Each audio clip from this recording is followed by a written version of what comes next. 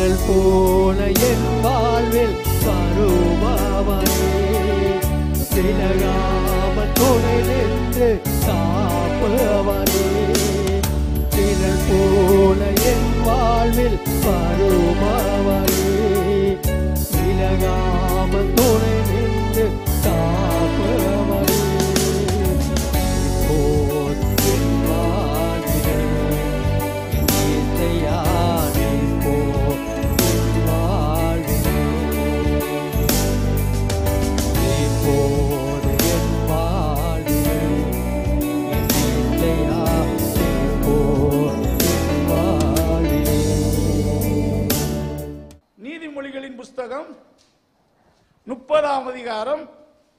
இருபத்தி நாலாம் வசனத்தில் சில வசனம் வாசிங்க.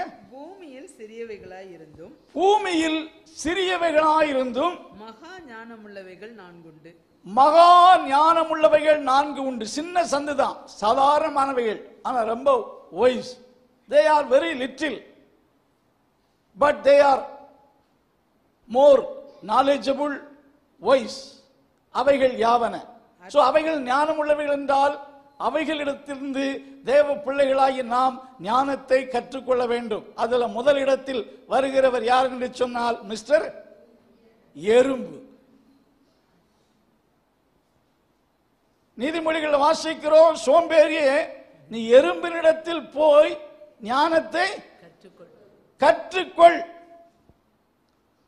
கத்தருக்கு க- ஸ்தோத்திரம்.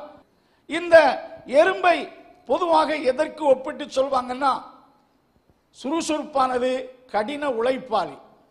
எந்த எறும்புக்கும் எந்த அலாட்மெண்ட் கொடுப்பதில்லை. ஸ்தோத்திரம் நீ இந்த வேலையை செய் என்று அதனுடைய பாஸ் அதுக்கு ஒரு வேலையை கொடுப்பதில்லை. ஸ்தோத்திரம் அது எந்த சோயின்றி தன்னுடைய வேலையை கருத்தாக யாருடைய ஓவர்ஸ் அதாவது யாருடைய பார்வை இல்லாம தன் வேலையை நேர்த்தியா என்ன செய்யும்? என்ன செய்யும் சொல்லுங்க? செய்து கொண்டே they are hard working insects they are working quietly without showing they are working until their work were finished. அதாவது ஒரு வேலை செய்தாச்சுன்னா எனக்கு இந்த வேலை அந்த அலாட் பண்ணி கூடாது பிரபுவும் கிடையாது. அதுக்கு கைடும் கிடையாது. பட் எல்லாமே வேலை செய்கிறது. என்னொரு சொல்லுகிறார்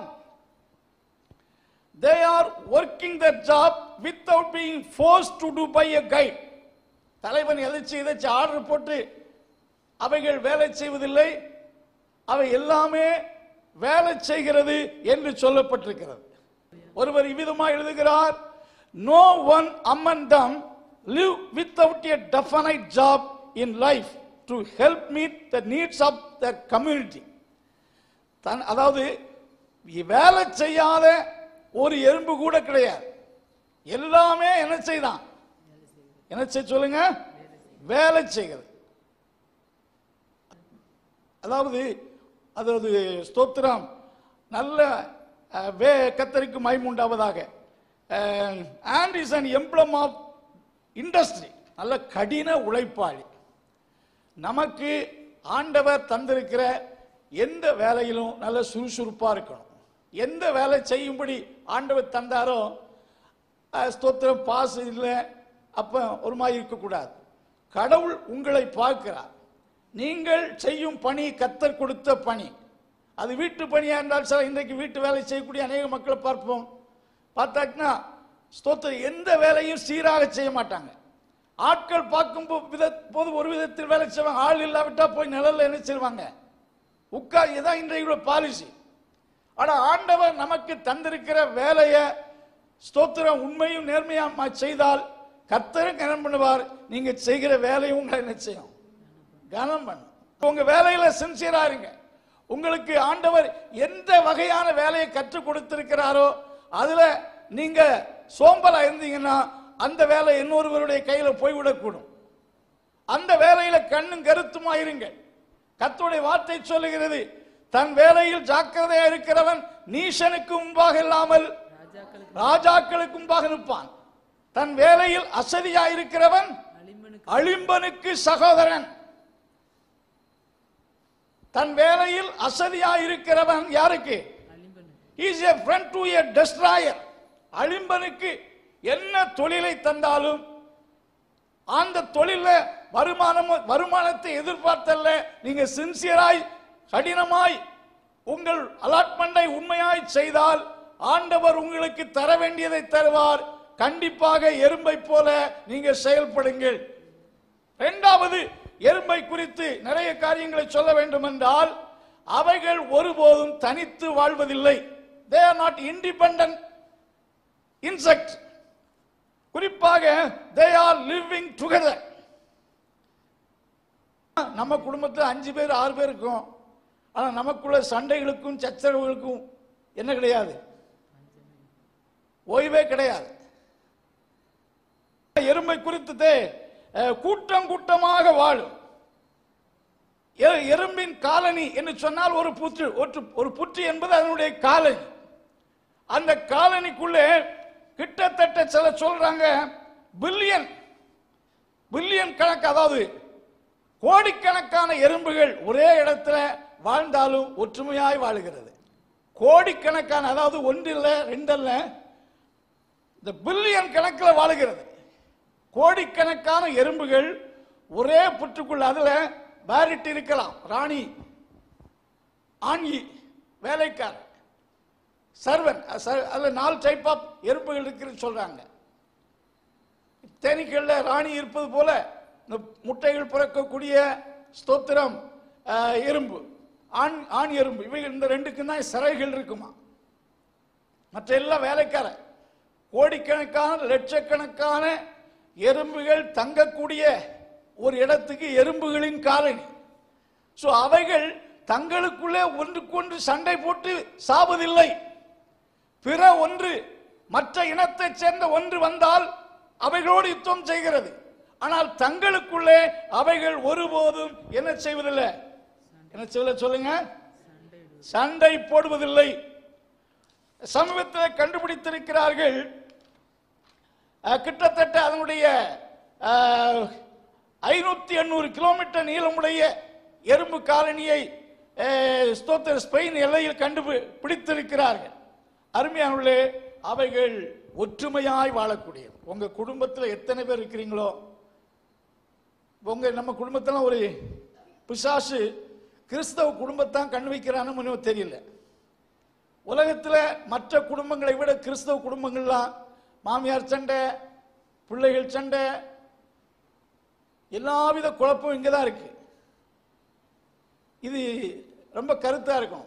உங்கள் ஃபேமிலி யூனிட்டியை பாருங்க அந்த எறும்பு இடத்துல போய் கற்றுக்கொள்ளுங்கன்னா இத்தனை எறும்புகள் சண்டை இல்லாமல் சச்சரவு இல்லாமல் ஒற்றுமையாக வாழுது. நம்ம குடும்பத்தில் எத்தனை பேருக்கு மிஞ்சி போன ஒரு பத்து இருபது பேர் இருப்பீர்களா? ஸோ உங்கள் சிறு குடும்பத்துக்குள்ள நல்ல ஒற்றுமையும் அன்பையும் நீங்கள் காண்பிக்காவிட்டால் கிறிஸ்தவர்கள் என்று சொல்வதிலே என்ன பலன் இருக்கிறது? They are hard working insect second they are harmonious insect நல்ல ஒற்றுமையாக வாழக்கூடிய ஒன்றாயிருக்கிறது. மூன்றாவது அதை குறித்து சொல்லும்போது வருங்காலத்தை அதாவது சின்ன எறும்பு தான் சாதாரண எறும்பு மூன்று மாதங்கள் தான் உயிர் வாழுமா? அதிலே சில கருப்பு இனத்தைச் சேர்ந்த இந்த கொஞ்சம் குஞ்சு முட்டைகளை இடக்கூடிய சில எறும்புகள் சுமார் பத்திலிருந்து பதினஞ்சு ஆண்டுகள் கூட வாழும் என்று சில அறிஞர்கள் சொல்லுகிறார்கள். குறிப்பாக இவ்வளவு இவ்வளவு ஷார்ட் பீரியட் வாழக்கூடிய அவைகள் எத்தனையோ ஆண்டுகளுக்கு வாழ்வது வாழ்வது போல தனக்குரிய ஆகாரத்தை என்ன செய்தான்? என்ன செய்தான்? சேகரித்து வைக்கிறதா நீதிமொழிகளின் புஸ்தகம். ஆறாம் அதிகாரம். ஏழு எட்டு வாசிங்க ஆறு ஏழு எட்டு. அதற்கு பிரபுவும் தலைவனும் அதிகாரியும் இல்லாதிருந்தும் ஆ, கோடை காலத்தில் தனக்கு ஆகாரத்தை சம்பாதித்து கோடை காலத்தில் கோடை காலம் என்று சொன்னால் சம்மர் டைம்ல சரியான அறுவடை இருக்காது மழை சரியான தானியம் கிடைக்காது. கோடை காலத்தில் சேர்த்து வைத்த ஆகாரத்திலிருந்து சாப்பிடாது. கோடை காலத்தில் தனக்கு ஆகாரத்தை ஆகாரத்தையும் அறுப்பு காலத்தில் தனக்கு தானியத்தை சேர்த்து வைக்கும். அறுப்பு காலத்திலே கோடை காலத்தில் தனக்கு ஆகாரத்தை சேர்க்கும். அறுப்பு காலத்திலே தானியத்தை என்ன செய்யும்? வாழக்கூடிய ஆயுசு காலம் மூணு மாதம் தான் ஆனாலும் எத்தனையோ ஆண்டுகள் வாழ்வதற்கென்று பிறந்ததைப் போல அவைகள் தனக்கு பிற்காலத்துக்காக பின் சந்ததிக்காக சேர்த்து வைப்பதிலே எதிர்காலத்தை குறித்த ஒரு கண்ணோட்டம் உள்ளதாய் இருக்கிறது. ஒரு சொல்கிறார் வருங்காலத்துக்காக சேர்த்து வைக்கும் மனப்பான்மை மற்ற அனைத்து உயிரினங்களை விட எறும்புகளிடத்தில் தான் அதிகம் இருக்கிறதா? ஏனென்றால் எதிர்காலத்தில் என்ன நடக்கப் போகிறது என்பதை அறிந்து அதற்கேற்றபடி வாழக்கூடிய ஒன்று. சோ நம்முடைய வாழ்க்கையில் அருமையான தேவனுடைய பிள்ளைகளே ஸ்தோத்திரம். சிலருக்கு எவ்வளவுதான் கையில் வந்தாலும் மிச்சமே இருக்காது ஓட்ட கையாகவே இருக்கும். இயேசு ஒருமுறை சொன்னார் யோவான் சுவிசேஷம் ஆறாம் அதிகாரத்திலே யோவான் சுவிசேஷம் ஆறாம் அதிகாரத்திலே ஆண்டவர் ஒரு வார்த்தை சொன்னார். அஹ், கர்த்தருக்கு மயமுண்டாவதாக மீதியானவைகள் கெட்டு போகாமல் அவைகளை என்ன செய்யுங்க? சேர்த்து வையுங்கள். யோவான் சுவிசேஷம் ஆறாம் அதிகாரம் வாசிங்க. அவர்கள் திருப்தி அடைந்த பின்பு அவர்கள் திருப்தி அடைந்த பின்பு அவர் தம்முடைய சீஷர்களை நோக்கி ஒன்றும் சேதமாய் போகாதபடிக்கு ஒன்றும் சேதமாய் போகாதபடிக்கு மீதியான துணிக்கைகளை சேர்த்து வையுங்கள் என்றார். மீதியான துணிக்கைகளை சேர்த்து சேர்த்து வையுங்கள் என்றார். மீதியான துணிக்கைகளை சேர்த்து வையுங்கள் என்றார். மீதியான துணிக்கை நம்ம கடினமாய் பிரயாசப்பட்டு உழைத்தால் கண்டிப்பாக கர்த்த நமக்கு த மீதியான துணிக்கைகளை காணும்படி செய்வார். ஆண்டவுடைய ஆசீர்வாதம் நம்முடைய பிரயாசங்களில் இருக்கும். மூன்று காரியத்தை சொன்னேன். என்ன சொல்லுங்க? எறும்பை போல எப்படி இருக்கணும்? சுறுசுறுப்பாக கடினமாக ஸ்தோத்திரம். நமக்கு கொடுத்த வேலையை சின்சியராக உண்மையாக தொடர்ந்து செய்துட்டே இருக்கணும். பெண்கள் நினைக்க கூடாது பெண்- எங்களுக்கு வேலையே கிடையாது. நாங்கள் ஃப்ரீயாக இருக்கிறோம். உங்க வீட்டு வேலையை தந்திருக்கிறார். நீட்டா வீட்டு வேலையை உண்மையா செய்யுங்க. சமையலாம் சிறப்பா செய்யுங்க.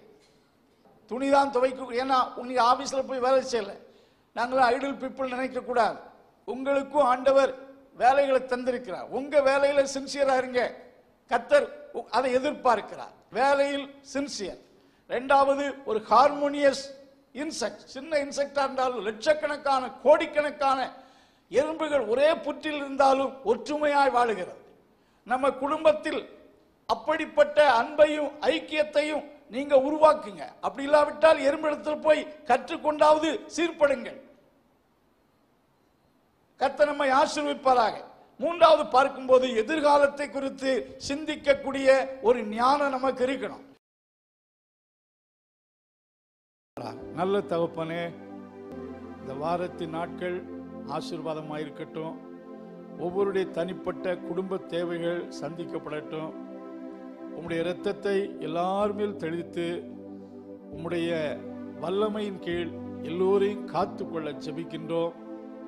வழி நடத்தும் கிருவை அவரோடு இருப்பதாக. இயேசு நாமத்தில் ஜபங்கள் அல்ல பிதாவே.